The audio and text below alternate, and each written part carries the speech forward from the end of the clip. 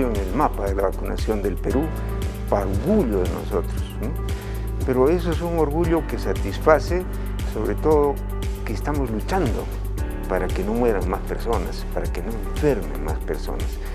Y de allí mi entusiasmo, mi cariño y sobre todo el reconocimiento de la academia, de la universidad, a personas que se están fajando con esta desigual lucha. Eh, evidentemente quiero reconocer que ustedes son, digamos, el punto visible de la vacunación en Arequipa, pero detrás de todos ustedes hay todo un, diríamos, un ejército bien entrenado que ya sabe qué tiene que hacer y, es, y eso me alegra muchísimo. ¿no? entregarles esta, este reconocimiento, me orgullezco de tu trabajo, sobre todo porque tú eres este, agustino de corazón. Un diploma de reconocimiento de, nuestra, de tu universidad hacia tu persona.